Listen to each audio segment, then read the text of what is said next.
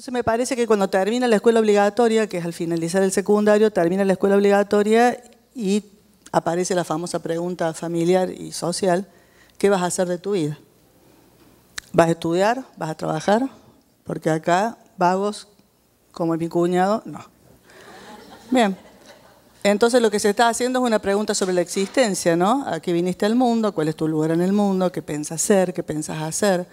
Por primera vez quizás se les habla del futuro, cuando en realidad los chicos están muy metidos en el hoy.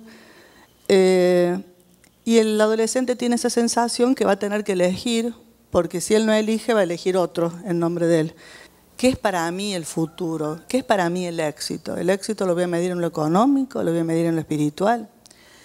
Eh, a mi edad y después de 50 años de trabajar en lo que hago, les, puedo, les podría aproximar la idea de que el éxito es poder este, conjugar el ser con el hacer. O sea, el éxito tiene que ver con la verdad de cada uno, ¿no? Si yo hago de psicopedagoga porque soy psicopedagoga, el éxito está casi asegurado. Y no hablo de lo económico, ¿no? Hablo del bienestar, de encontrarle sentido de la vida, ¿no? De decir, bueno, vine para esto y, me va bien en esto y tengo un costado social en lo que hago, etcétera, etcétera. Me parece que pasa por ahí, que uno no puede vivir disociado entre el ser y el hacer, por cuestiones económicas o por cuestiones de consumo o demás. Me parece que no. Eh, los digitalizan temprano porque si nacen y abren los ojos al mundo y la mamá está con un celular o el papá que no puede dejar durante todo el día, los chicos de toda la vida, porque mis hijos nacieron en la época del no celular, yo nací en la época de la no televisión, puedo hablar de eso, los chicos de toda la vida han querido tener lo que tienen sus padres en la mano, las llaves del auto, la cartera, el collar de perlas, el lápiz labial, siempre y si, y si lo que tienen en la mano es un celular y no pueden desprenderse de él, no hay nada más valioso que un celular y yo también lo quiero tener lo más tempranamente posible a pesar de que la Organización Mundial de la Salud dice que hasta los dos años nada y lo quieren estirar a tres, más de dos horas por día es nocivo y nunca dos horas antes de dormir. Y lo dicen hace diez años. Para que Beatriz Sarlo hoy diga que la escuela es una escuela parking donde los padres estacionan a sus hijos y lo único que importa es cuántas horas van a estar estacionados, ¿es doloroso o no? Es doloroso. ¿no? que querramos más jornadas extendidas y después digamos qué lindo el modelo de Finlandia donde los chicos van a los seis años y están cuatro horas. Los nuestros van a los dos, con pañales.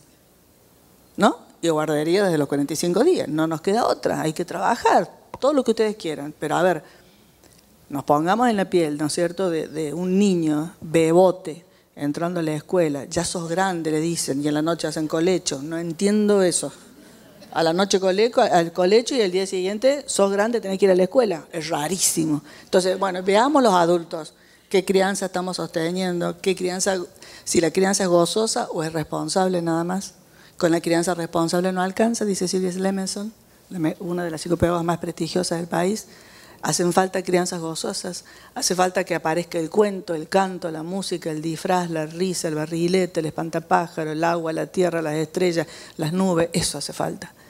Lo están diciendo todos los especialistas porque los chicos de la cultura de la imagen vienen achicando el campo de lo simbólico porque la imagen te impide simbolizar. Entonces nosotros antes jugábamos con nada, con dos cositas nos armábamos, ¿no? Yo me acuerdo que el juego de té nuestro eran cascaritas de nueces y la hoja de parra del plato.